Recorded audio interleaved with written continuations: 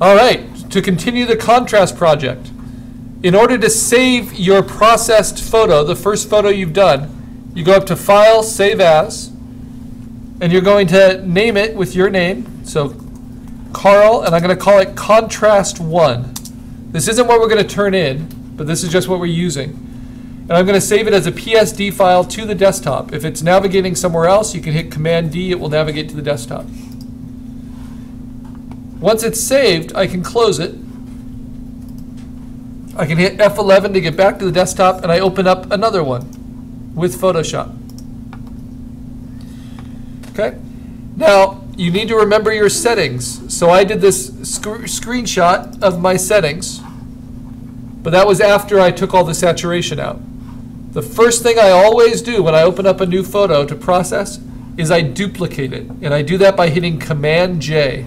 You can also go up to Layer and Duplicate Layer, but it will ask you this extra step of a, of a naming it, but it will give us an exact copy. So I'm always just going to say Command J, and now we have another layer on top. The first thing I do is go to Image, Adjustments, and Levels. Everything, these top four, brightness, contrast, levels, curves, exposure, they adjust the values within the photo. Everything underneath that, between vibrance and color lookup, those adjust the colors. So we first deal with our levels.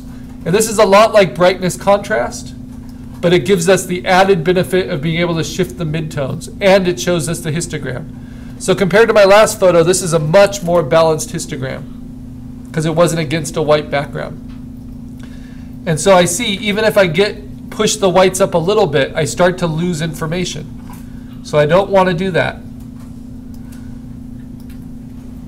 And I can only deepen the darks just a little bit before I start losing information. But I can always safely try brightening the midtones or deepening the midtones and seeing what I like. And for this, I think it's about right where it is. So I say OK.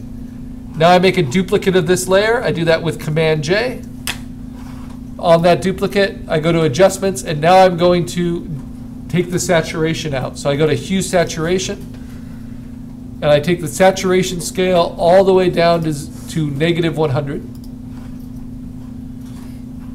Now I make a duplicate of that, so I have four layers now, and I go back to hue saturation under image adjustments.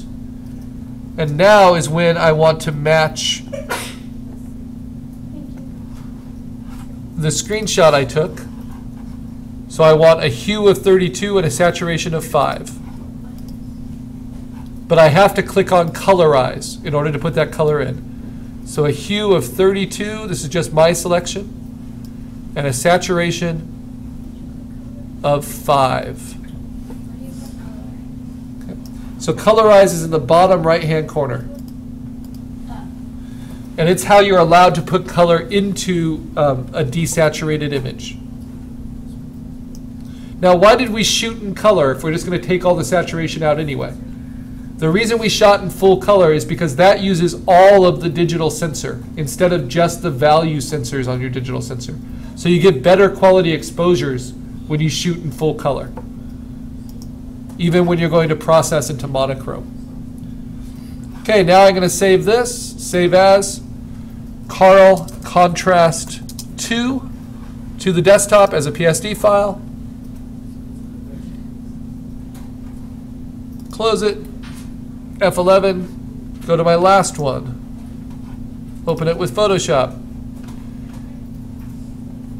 And we learn through repetition. So I bring it in. The first thing I do is duplicate my layer with Command J. Then I go to Image Adjustment Levels and I'm kind of squinting, and I'm going to balance the histogram out.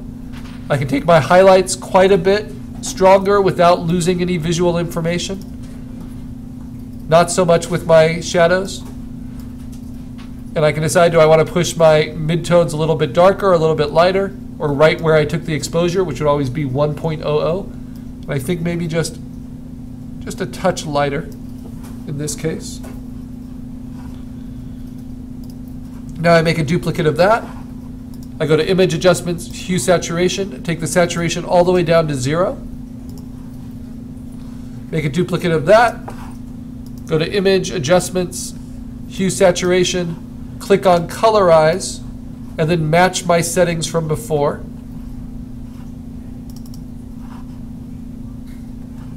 Where is it? I minimized it. Here it is. So 32 and 5. It's another reason having a sketchbook is handy as a photographer. You can make little processing notations. And that's because we want all of these photos to be side by side and all to look the same. All to look like they were processed in the same way. Now that looks like grayscale, but it's more than grayscale. It has a little bit of warmth to it. So to show you the difference, if I look at my history, that was pure grayscale with no color at all. That's with my hue saturation. Just a nice subtle warmth. And that's because whenever you see black and white photography, there's always some color choice. It either goes warm or it goes cool. Only bad prints from a black and white printer give you pure grayscale. So I'm going to save this as Carl Contrast 3 to the desktop. Hit save. Okay, now before closing it, well, yeah, I'll go ahead and close it. Just so you can see what you can now do. So I have all of my exposures here, and then I have my processed exposures here. Now I'm going to open up all three of them in Photoshop. So I select all three, and you can do that by drawing a box around, or if that's not working for you, click on one, hold down Command, and click on the others. It will add them to your selection. Right click, open them with Photoshop. Now let's see what they all look like next to each other. So I'm going to go to Window and Arrange and float them all in windows. And the reason I do that is to pull them out of being in tabs, separate tabs here. So window, arrange, float all in windows. And then I can use a new shortcut to see them all on the screen together, and that is F9. F9 will give us all of the open program, open windows internally. And so yes, they all look like they're processed the same way.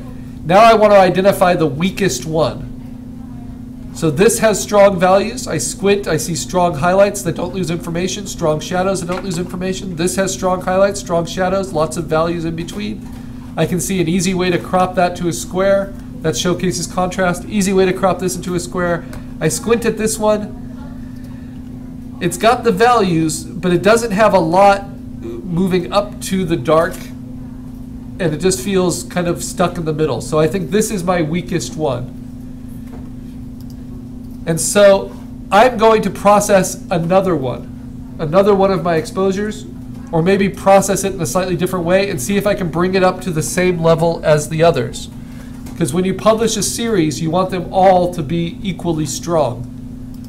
So try to identify the weakest link, close that one, keep the others open, and then I'm going to look at my other exposures. And I think with this one, my runner-up, I think I might be able to get a more satisfying contrast shot. So this will be number four. I duplicate it. First I do adjustment levels. I can bring up the highlights to about there. These are all very low light exposures without losing any of the content I want.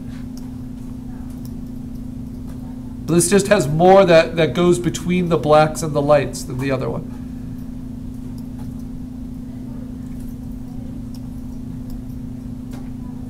Now another thing you can do here in levels, so I can shift my uh, midtones a little bit lighter or a little bit darker. I think I definitely want to go just a tiny bit lighter to bring out these different values. But you can also limit your your values. So if I felt my like my lights were just too strong overall, I could step them back a little bit here.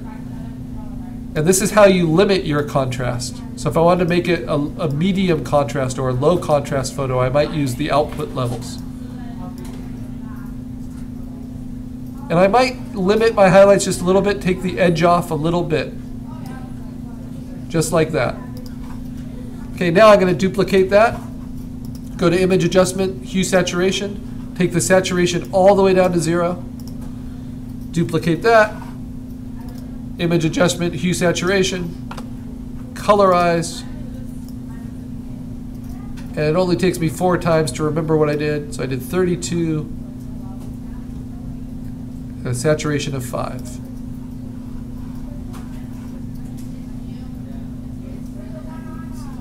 All right, so now I can float these in Windows as well.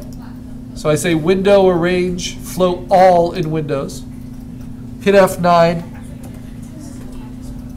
and see if I think that one can hold up a little bit better.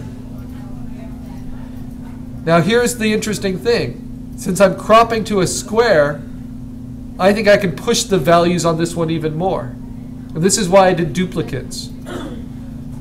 Because it's got the bright whites, but it's got them in a part of the photo that I'm probably not going to use in the crop. So I'm going to go back here and I'm going to ignore this stuff. And so this is our next step. Let me save this quick.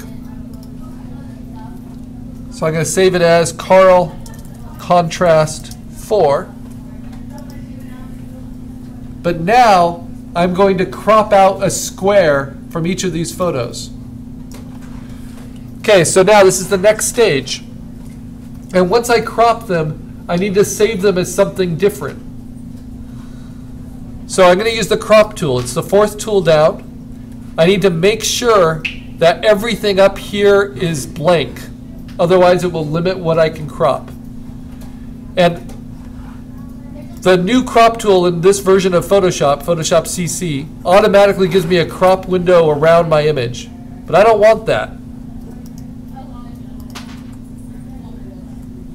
So I'm going to immediately just hit return and then return again. And that allows me to now draw my own cropping. But I want it to be a perfect square. And the only way to do that is to hold down shift while I crop. So if I click and drag while holding shift, I can control my cropping. And then I can even rotate the crop. And what I love about this new version of Photoshop is notice that while I rotate it, it will keep it all within my photo. So it won't allow me to crop outside of my photo.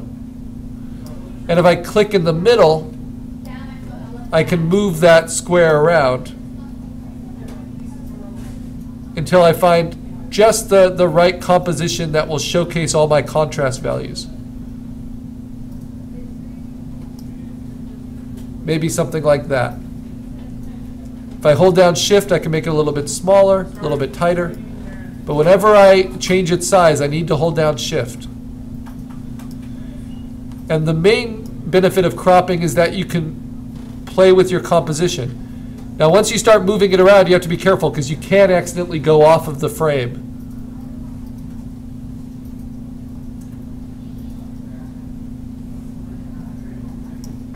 All right. Once you find your cropping, hit return. And then I'm going to do one more duplicate in layers. and I'm going to play with the levels just one more time now that it's cropped. And that allows me to bring them out a lot more just within this range.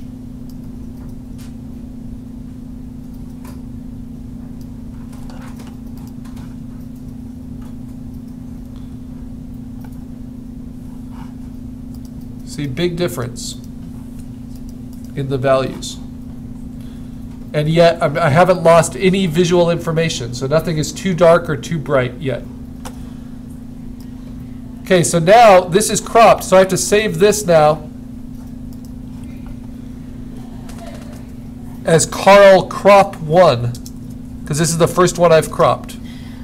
As a PSD to the desktop, save. And I'm going to do that to the others, but there's another step I need to do for all my cropped photos because I need to make sure each crop square is the same size. So I'll start that with the next demo.